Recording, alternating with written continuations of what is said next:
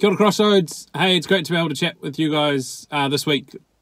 And we have got to be so close to be able to meet together um, again soon.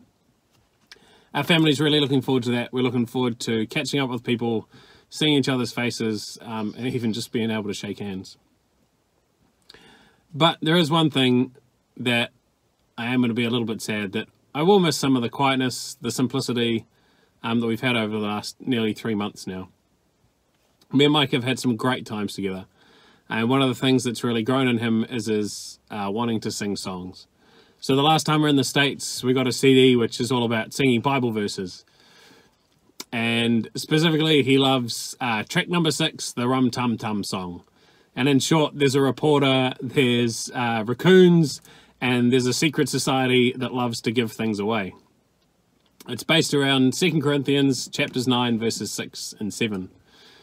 Whoever sows sparingly will also reap sparingly, and whoever sows generously will also reap generously.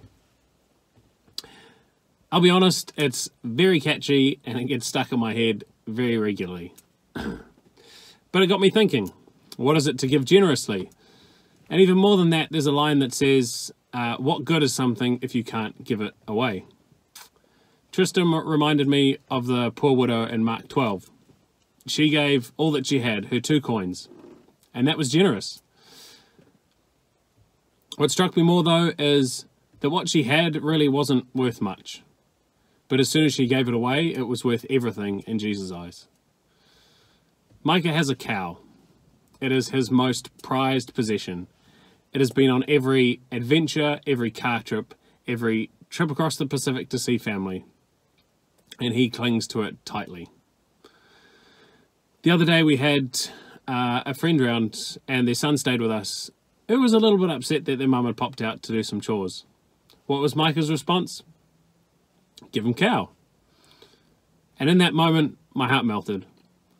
To see him try and give something that he loves so much and has held onto so tightly to someone else in need.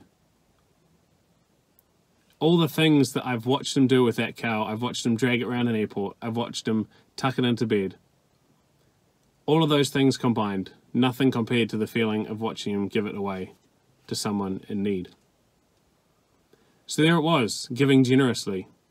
And more so than giving generously, what value did that cow have to Micah? Great value. What value did it have as soon as he went to give it away? So, so much more. So this week I encourage you, look out to be generous. Look out for someone in need. You might make them smile. You might make their day. You might even make their week. And you know what? You might do none of those things. But it's what we're called to do. So go be generous, Crossroads.